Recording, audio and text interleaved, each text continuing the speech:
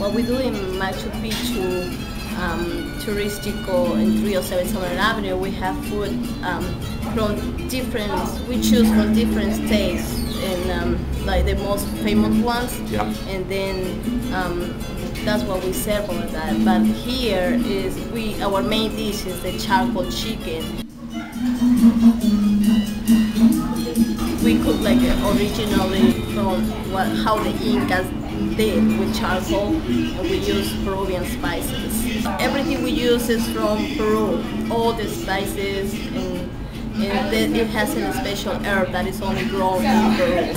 What we do is a day before we uh, marinate it with Peruvian spices and we use our salt and pepper and cumin and we have some oregano but all of those are from Peru.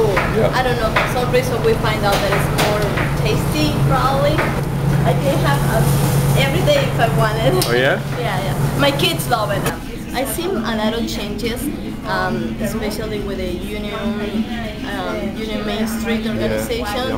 Um, I found out that the organization been doing a lot. It works a lot. I can see more people here, but right now it's the uh, you know the constructions going on, and uh, well we have some issues like power stuff, plus the parking.